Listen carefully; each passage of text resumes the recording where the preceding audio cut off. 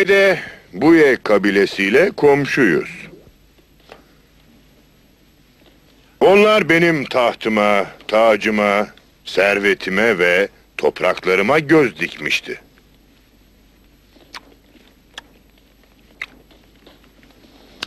Batıda İlekan Sultan Mahmud Gaznevi tarafından onun yardımıyla Kaşker'den, Hoten'den, Beresugun'dan ve Sama'nın batı sınırlarından saldırıyorlar. Hı? Bizler savaşa hazır olmalıyız.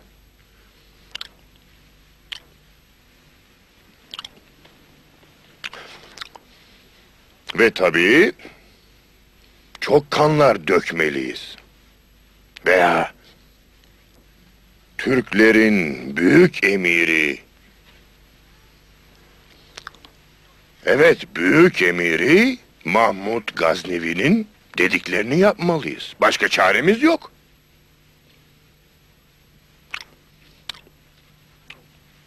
Ne yapalım? Bu yüzden İbn Sina'yı değerli bir hediye olarak Mahmut'a bağışlamalıyız. Herhalde başka çaremiz yok. Şahın düşünceleri aydındır ve Allah onun yanındadır daima.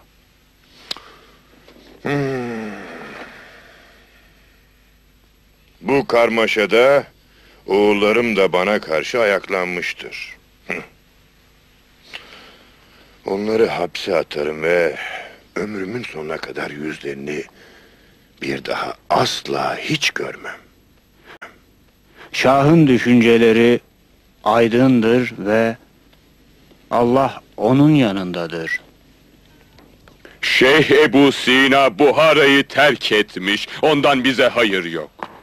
Hükümet kütüphanesi tamamen yanmış. Küçük şehzade diyorlar ki İbn Sina kütüphaneyi yakmış ve Mahmud'un himayesinde rahat yaşamak için Türk topraklarına kaçmış. Yüz atlıyı peşinden gönderin. 200 atlıyı gruplara bölün. Tam 40 grup olsun. Peşinden gönderin. Bekle. Şehzadeler benim yanıma gelsinler. Allah bize yardım etti de çocuklarımı cezalandırmadım.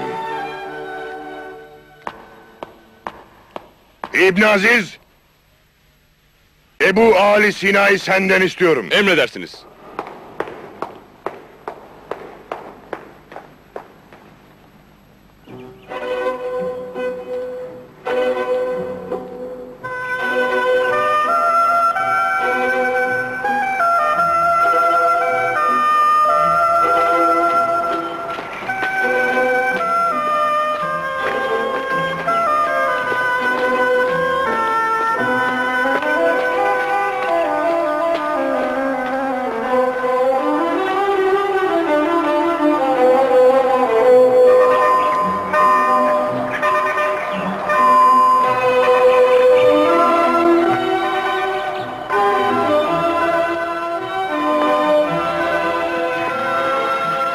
Aleyküm.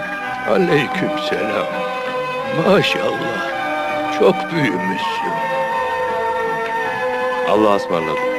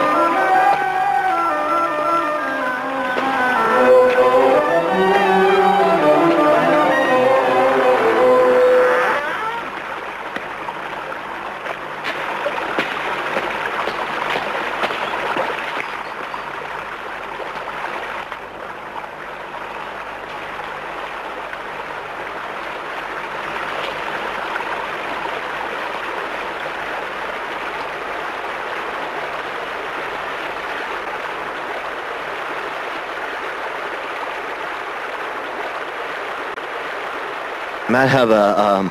Merhaba Kahya, nasılsın? Beni tanıyor musun? Evet oğlum sizi çok iyi tanıyorum. Babanız hep sizden bahsederdi rahmetli. Ah, ah. Babam öldü mü? Yoksa bilmiyor muydun oğlum? Beni affet oğlum. E, Böyle bir haberi sana bu şekilde vermek istemezdim E, ama başka bir yol bulamadım. E, İnan bana bulamadım. Dur, dur gitme. Bir babanın ölümü oğlu için çok acıdır biliyorum ama dur gitme. Metin ol evladım gitme bekle. Annene çok iyi görünmelisin. Anneni teskin etmelisin. Dur bekle gitme. Babanın ölümü olduğu için çok acıdır biliyorum ama bu yeni bir başlangıç demektir senin için.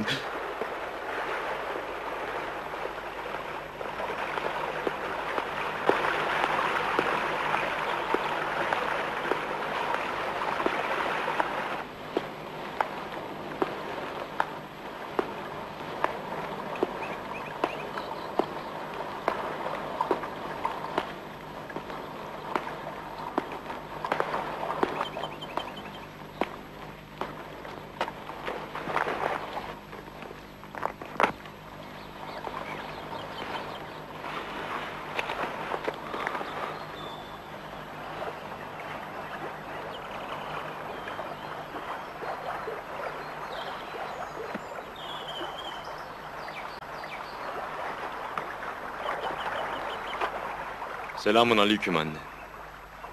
Benden önce babana selam söyle ki yaşadığı gibi ona layık olan selam toprak altında da devam etsin.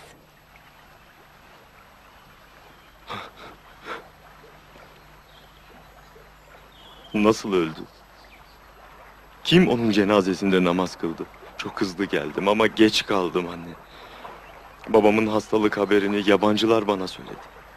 Eğer bizleri sarayın içine sokmazlarsa mecburen yabancılar söyler. Anneciğim ben kazara oraya düştüm.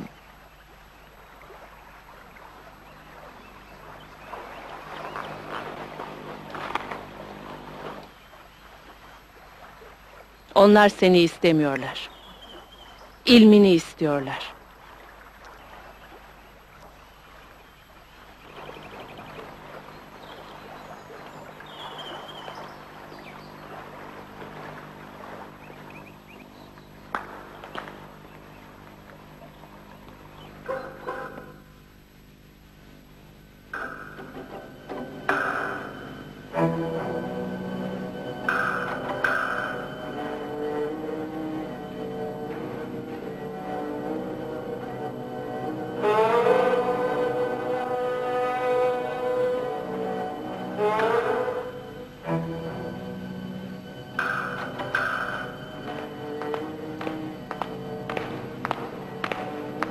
Niye gelmedi?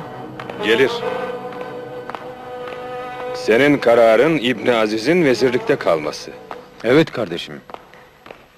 Ta ki ondan daha iyi bir vezir bulana kadar. Benim kararım da onu öldürmek. Ölsün gitsin. Babamın yanında ondan daha iyi bir vezir yoktu. Onu görmekten nefret ediyorum. Ne zaman gözlerime baksa her şeyden haberi var sanıyorum. Merak etme.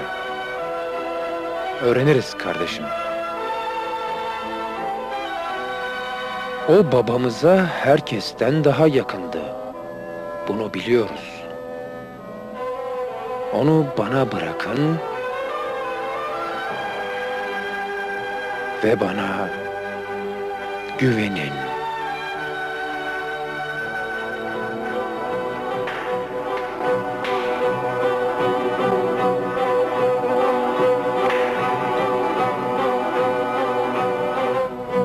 Geliyor.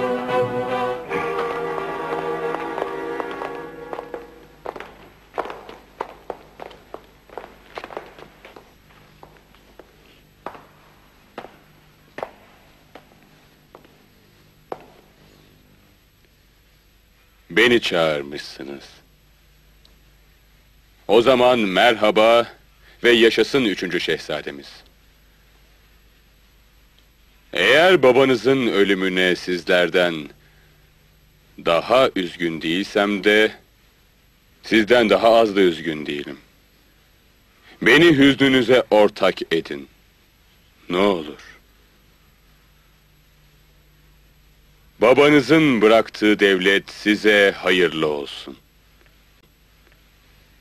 Bu düzenbaz yas elbisesi giymiş. Bize babamızın ölümüne üzüldüğünü söyledin. Bu düzenbazlıktır. Bana bırakın. Orada durma büyük vezir, içeri gir. Ne bekliyorsun?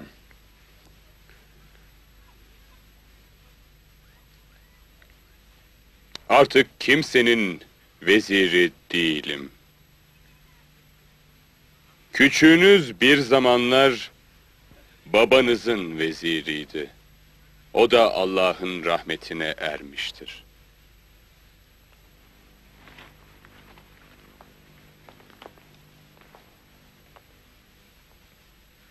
Şimdi başka bir emir yaşıyor. Şahların ve emirlerin vezirlerini miras olarak bıraktığını çok duydum ve çok gördüm. Şimdi de sen İbni Aziz Mensur İbni Nuh, Nuh İbni Mensur'un oğlunun vezirisin. İçeri gir.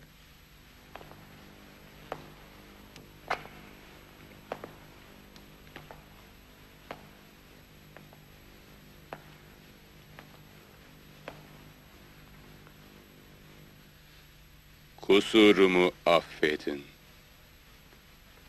Şahlar miraslarını büyük oğullarına bırakırlar, vezirlerine değil. Sana cevap vereceğim. Ama şimdi bir sorum var sana. Önce onun sorusunun cevabını ver.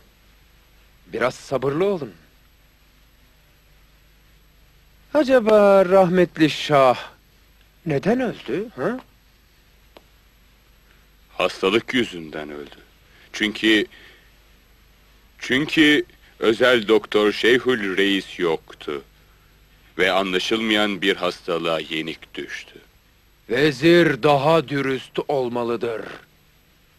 Düşüncenizi dürüst olarak söyleyin.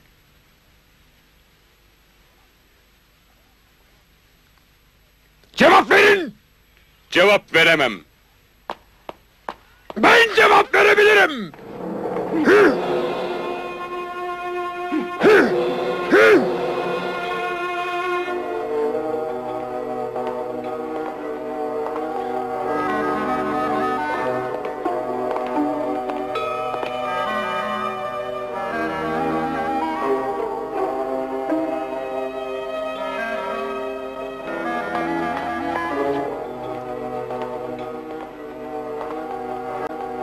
İbni Aziz Sina geldi. Büyük oğul dediniz. Hangisi büyük oğul? Ama artık bitti.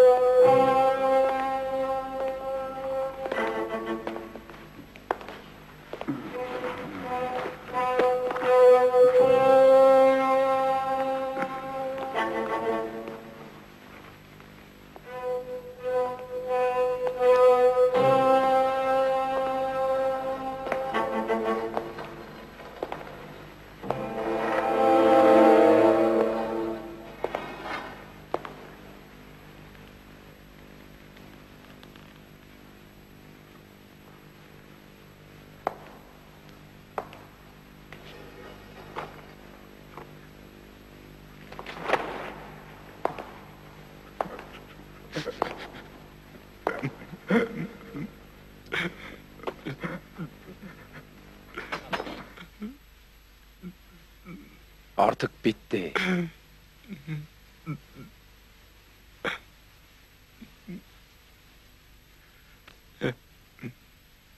Büyük oğul o değil, sensin. Siz, siz şaşırmışsınız.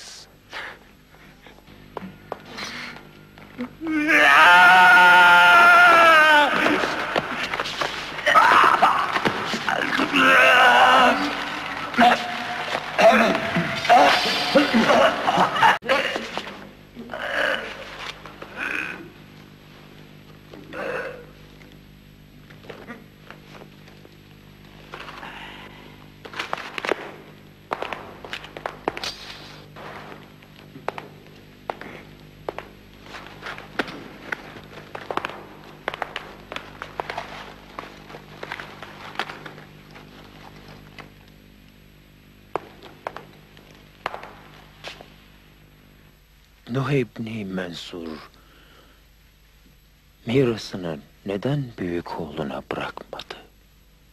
Neden bırakmadı mirasını anlayamıyorum bir türlü. Artık şaşırmıyorum.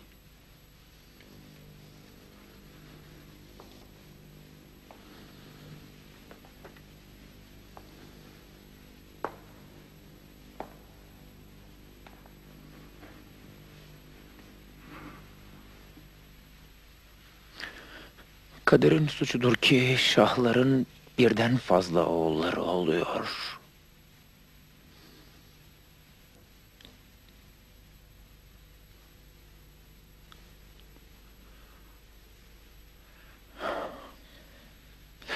Şimdi sizin sorunuza cevap verdim. Siz de benim soruma cevap verin. Semavi'nin şahı neden öldü? Hastalıktan mı? Hayır. İki çocuğu, iki şehzade onun canına kıydılar. Şimdi ne oldu?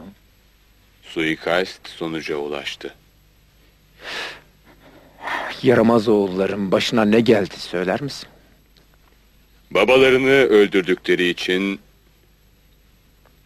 senin elinden cezalarını aldılar. Tahta sana kaldı.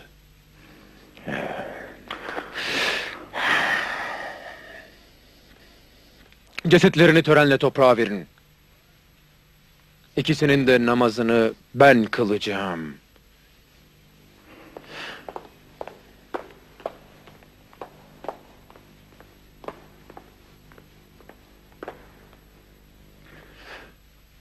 Hekim Ebu Ali Sina'nın Buhara'dan çıkmaması lazım. Bütün Buhara'yı arayın ve onu Emir Nuheybni için bulun getirin. Anlaşıldı mı?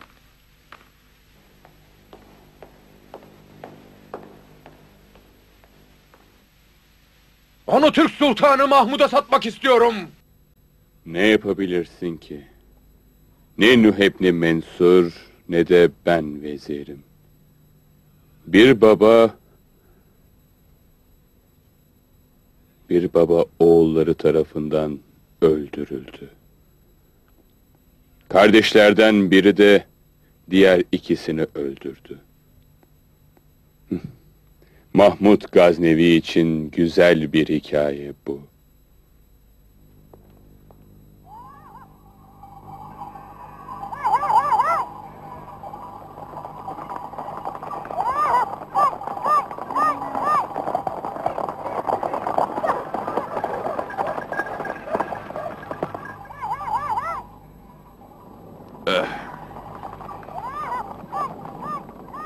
Hürmeysem yolu neresidir? Ebu Ali Sina'nın peşinde misiniz yoksa? Soru sormayı bırak. Cevap ver. Kusuruma bakmayın savaşçılar. Belki onun peşindesinizdir dedim. Dün onu gördüm, bana adını söyledi. Biz onun izini bulduk. O bu taraflarda. Bekleyin, dizginleri çekin. Sen şeyhi tanıyor musun? Benden bir tabak su aldı ve oturup onunla konuştuk. İlk kez onu görüşümde bana Buhara'dan geldiğini söyledi. Yoksa siz e, Şah'ın gönderdikleri askerlerden misiniz he? Bu aradan kaçtıysa peki ne tarafa gitti? Hurmey senin yolu hangisidir söylesene. Oraya gittiğini nereden biliyorsunuz peki? Soru sorma. Beni affedin savaşçılar. Bana doğum yerim Afsen dedi. Anlıyorum. O zaman Afsen'e gitmiş. Oraya nereden gidebiliriz? Bu taraftan. Gidelim.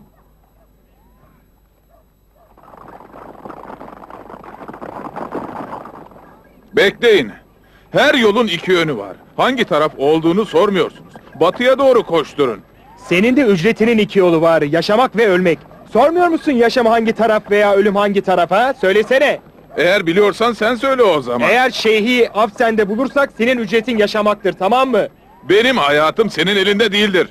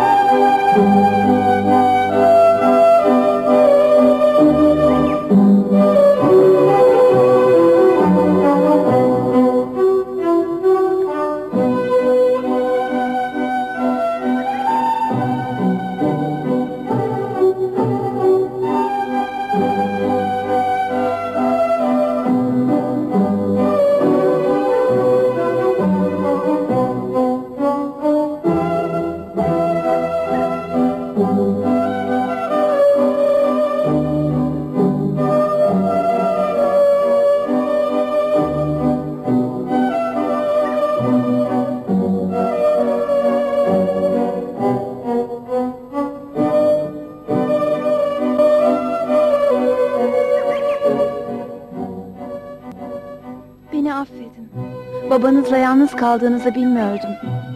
Sizi Buhara'da zannediyordum. Allah değerli babanıza rahmet eylesin efendim.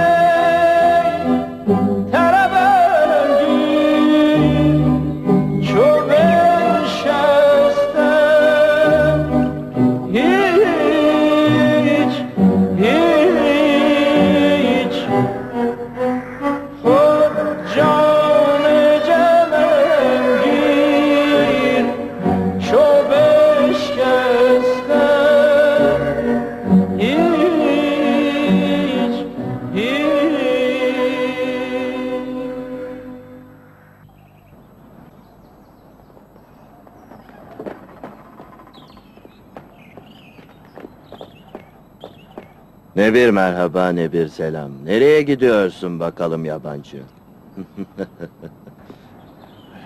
Selamun aleyküm. Aleyküm selam. Ev sahibine söylemem gereken bir şey var. Çok acele onu görmem Ev gerekiyor. sahibi benim. Şey Ebu Ali Sina sen Hayır misin? çoban, ev sahibiyim ben. Ama benim şey Ebu Ali Sina ile Konu görüşmem nedir? lazım. Buhara emirinin askerleri onun peşindeler. Ben onları başka Hmm. yoldan gönderdim. Ama Hurneysen'e geri gelebilirler. Onun peşinde olduklarından emin misin? Eğer ev sahibi şey Ebu Ali Sina ise evet. Hadi. Git bakalım.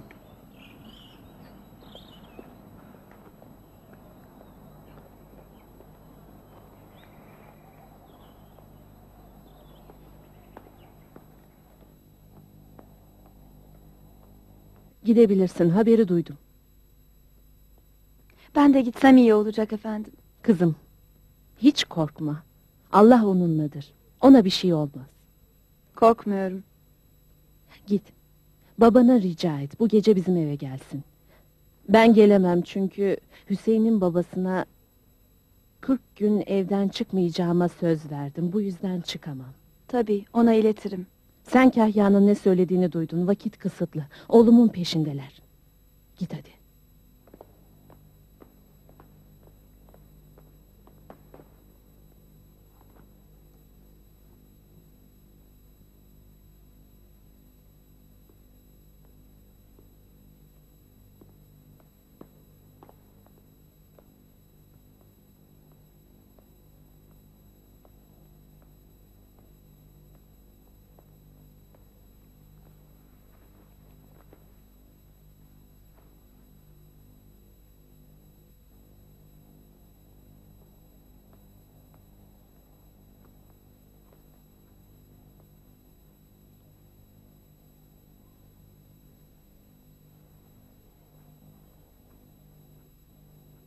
Anneciğim seninle konuşacak çok şeyim var. Benim de seninle konuşacaklarım var.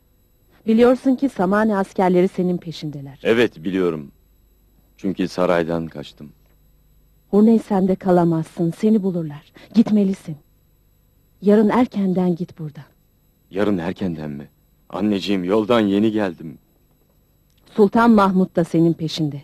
Onların istediği sen değilsin. Senin bilimindir. Anneciğim senin yanında kalacağım. Ne yazık ki gitmelisin. Sen ve benden daha önemli bir konu olmasına rağmen. O nedir? Seni nişanladığımız kızın durumunu öğrenmemiz lazım. Anne şimdi bunları konuşmanın zamanı mı? Babam daha yeni ölmüş. Benim peşimdeler. Annem yasta. Ne kötü gündür bugün. Hüseyin, soruma doğru cevap ver. Onu istiyor musun? Anneciğim şimdi bu soruyu sormanın zamanı değil. Senin seçtiğin yolda çok yolculuk var. Çok seferler var. Hiçbir zaman bir yerde kalamazsın. Senin biliminin şahları ve sultanları çeken bir gücü var. Beni bu yola sen gönderdin. Pişman değilim. Benim soruma cevap ver. Onu istiyor musun? Çok yolculuklara çıkacaksın dedin. Önümde uzun ve uzak yollar var. Daha o yolların başındayım anne. Senin eşinin seninle olması ve seninle ölmesi lazım. Bunu söyleyen sensin. Senin gibi bir eş nerede bulunur ki? Onun adına söylüyorum.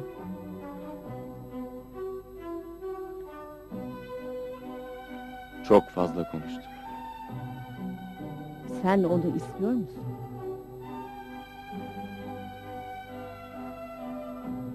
Allah şahidim olsun istiyorum.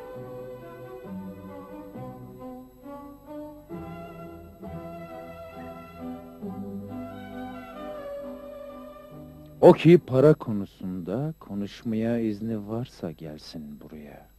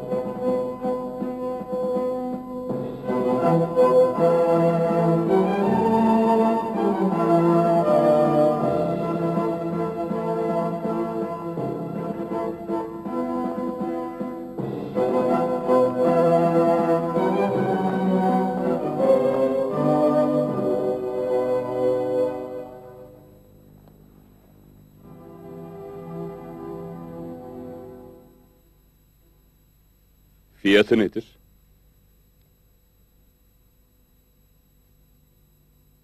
Hekim Ebu Ali Sina Samani Emir'in elinde mi? Sultan Mahmud hekimi kaç dinara istiyor?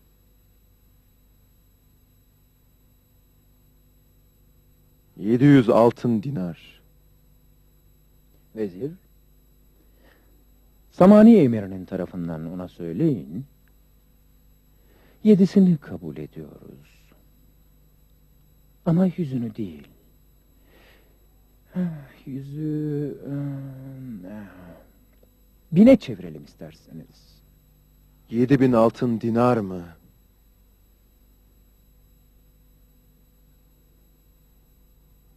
Bu fiyatı Türk sultanlara söylemek cesaret ister. Yürek ister, cesaret değil.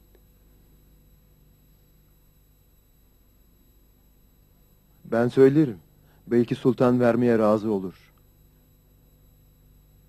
Ama bu durumda emaneti almak için Buhara'ya kuşkusuz kendisi gelir. O zaman eğer Ebu Ali Sina'yı sarayda bulamazsa ne olur?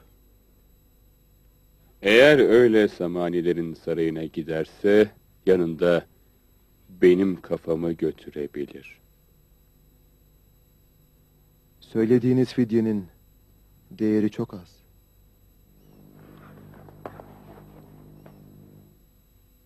Eğer o durumda Samani sarayına gelirlerse, emirin de kafasını isteyebilirler. O kafayı kimden istesin?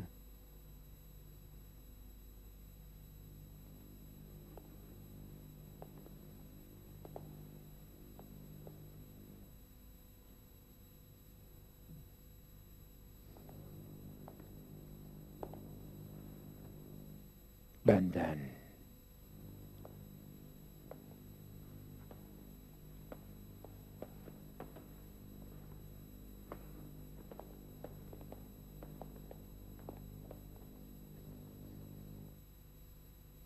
Mesajı iletirim.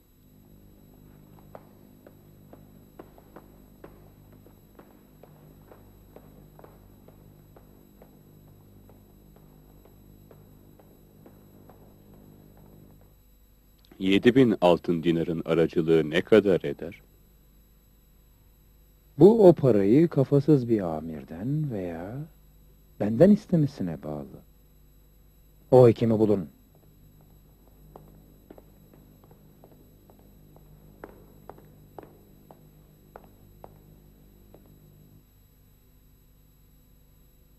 O Türk'ün gözü bizim topraklarımızdadır. Onunla aramızda mesafe olması daha iyi. Emir ona arkadaşlık mesajı gönderdi.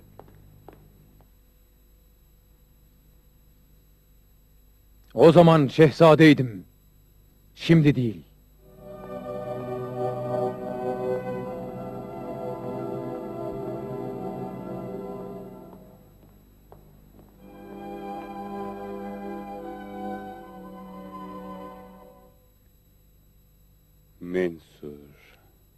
Ne sen başsız yapabilirsin ne de ben başsız bir emirin veziri olabilirim. Sancar ve samanileri tamamen bitirdin.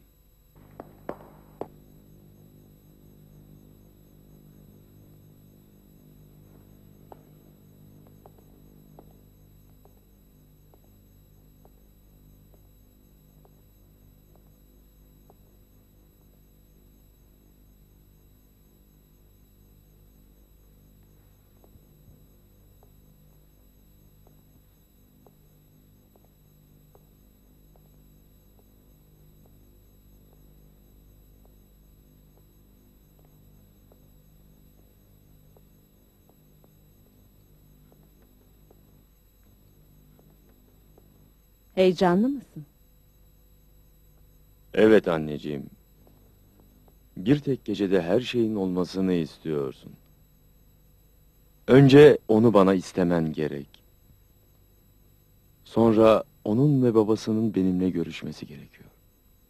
İmanın gelmesi gerekiyor anneciğim. Benim yolculuk ihtiyaçlarını karşılayıp yarın sabah eşimle yolculuğa çıkmam gerekiyor. Baba evimi, Hurneysimi, Buhara'yı ve annemi terk etmem gerekiyor. Şimdi heyecanlı olmayayım mı yani? Acaba onlar gerçekten gelecekler mi?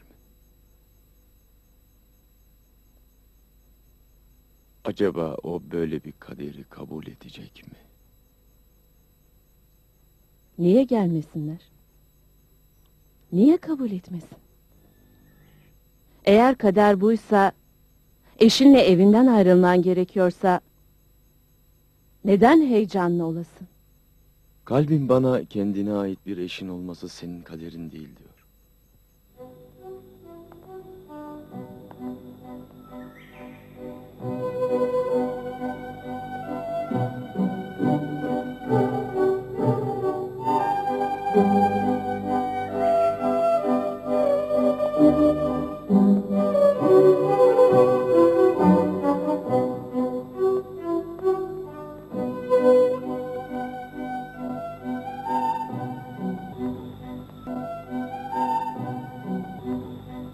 Selamun aleyküm.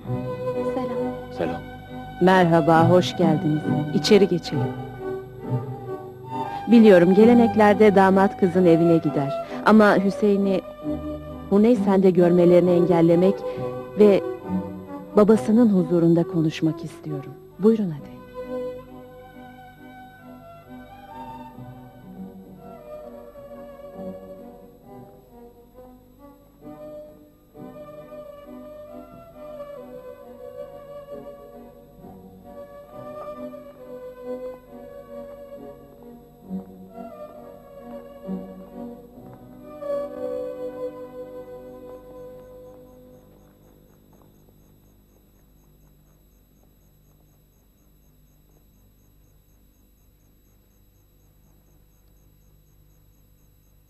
Gerçekten babana çok benziyorsun. Sizin kızınız da kusursuz bir kız. Babası konuşsaydı sevinirdim. Ama şu anda o bizim aramızda değil. O bu evliliği çok istiyordu. Hüseyin de yarın Huneys seni terk etmeye mecbur. Onun peşindeler.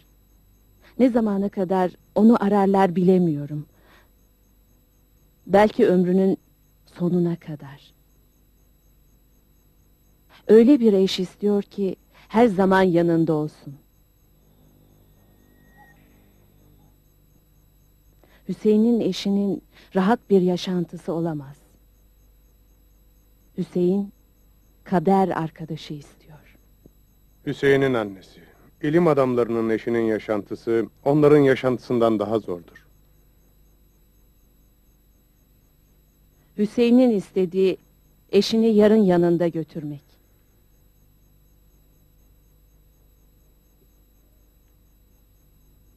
Eğer kızım kabul ederse ki kesin kabul etmiştir, yolculuklarda eşiyle beraber olur. Zorluklarda da eşiyle birlikte olur. Ama Hüseyin'in annesi, kızımız başka bir şey söylüyor. Eğer gelin gitmeye hazır değilse kalsın. Sonra Hüseyin gelsin ve eşini alıp gitsin. Bu daha iyi değil mi? Peki Ebu Ali ne zaman döner? Bilmiyorum. Bir ay sonra mı? Bir yıl sonra mı? Ne zaman? Bilmiyor. Onun için eşini yanında götürmesi gerekiyor ya. Eğer kızım kabul etmezse ben de kabul etmem. Bildiğim kadarıyla ikisi de çocukluktan beri birbirlerini seviyorlar. Kader Hüseyin zamanında konuşmamış. O zaman bu hayırlı işe hayır demeyin. Hüseyin'in annesi. Eğer hakikaten bunlar birbirini sevmişse ben kimim ki hayır diyeyim. Siz benim kızımın hem annesi oldunuz hem de hocası. Siz bilirsiniz. Size güveniyorum. Kızım, açık söyle. Eşinle beraber gitmek istiyor musun?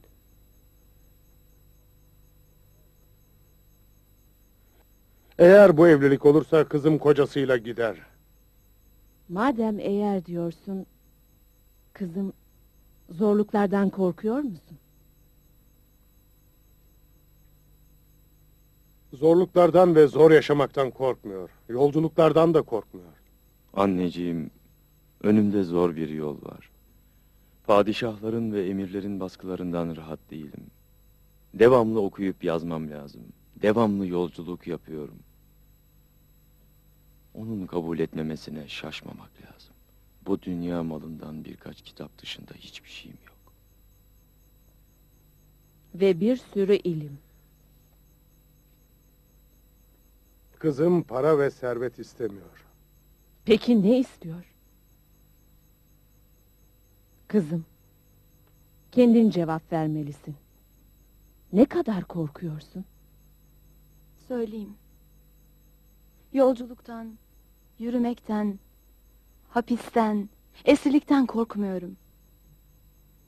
Hocam, onun gittiği yola engel olmaktan korkuyorum. Ve o zaman ilim yoluna da engel olurum. Eğer onunla gidersem ayak bağı olurum. Ama gitmeyip onunla kalsam da olurum. Ona söyleyin ki bir gün geri döneceğim. Diyor ki bir gün geri dönecekmiş. Onun seçtiği yoldan geri dönmesi mümkün değil. Ona deyin ki geri gelmek için elimden gelen her şeyi yapacağım. Diyor ki geri gelmek için elinden geleni yapacakmış. Sizin çok okuyup çok yazmanız gerek. Seçtiğiniz yolda size engel olmamalıyım. Yaşam ne kadar uzun olsa da sizin için çok kısadır. Yolculuğunuzun başında ayağınıza bağ olurum. Bizi çocukluğumuzda birbirimize istediler. Ama şimdi bunu unutup ipi çözün ve gidin lütfen. Beni affedin hocam. Affedin lütfen.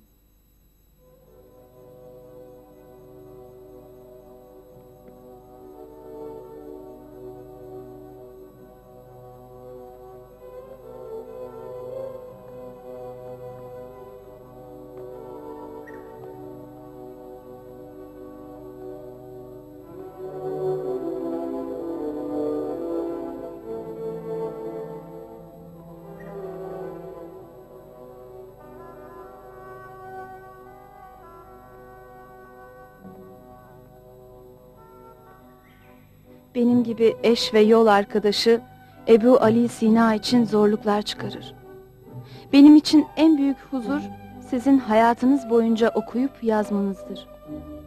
Belki yazdığınız şeyler bir gün benim de elime erişir.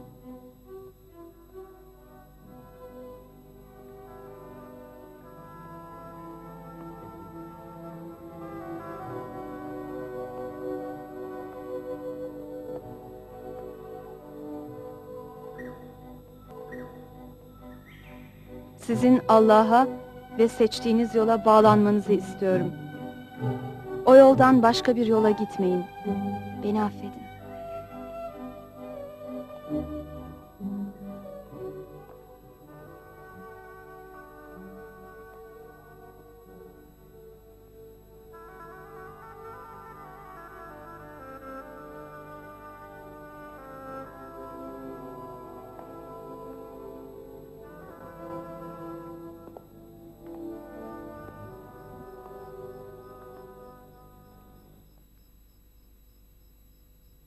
O benim ayağıma bağ olmazdı.